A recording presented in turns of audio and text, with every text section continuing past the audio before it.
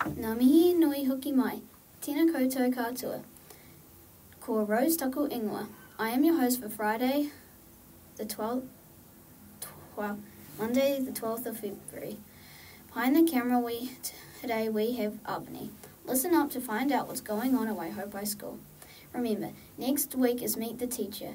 We would love to see your parents here on Thursday evening to find out all about your classroom programs. The Year 6 camp meeting is starting at 7 pm in room 6. All Year 6 parents are encouraged to be there, but especially those who are coming as parent help.